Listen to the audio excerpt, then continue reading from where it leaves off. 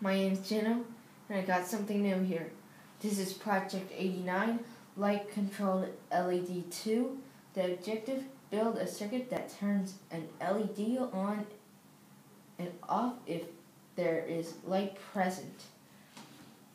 Uh, if it's connected to the space war because this kind of flickers. And this is also a new part if you're wondering.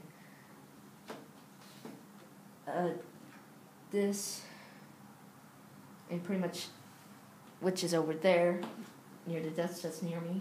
Uh, anyway, the this is just this kind of flickers if you can see it. Uh,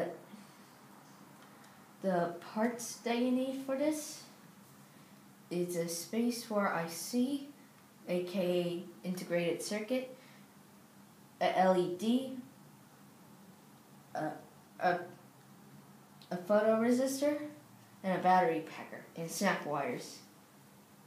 This is just simple. That's all I gotta say, and goodbye.